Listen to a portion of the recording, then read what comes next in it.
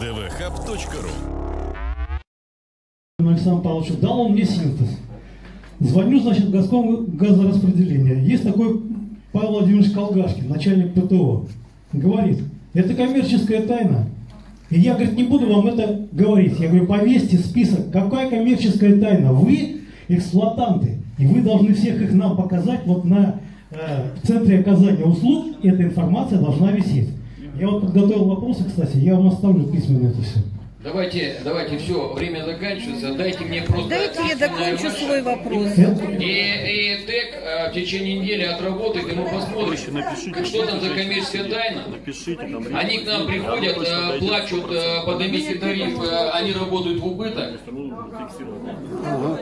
Можно Значит, последний вопрос? Значит, э, если вопрос невозможно решить э, с коммерсантами, я предлагаю сразу решение, которое можно сделать. Значит, нужно создавать э, МУП или КГУшку.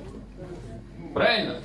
И забирать это на себя. Сергей Иванович, вот в разрезе крайгаза, которого мы создаем, не Да. планировали, чтобы они будут выполнять вот эти Вот э, тогда создаем свой э, крайгаз. Название, да, крайгаз. Ну, пускай крайгаз называется, неважно как. Самое главное, чтобы это было, чтобы мы могли воздействовать.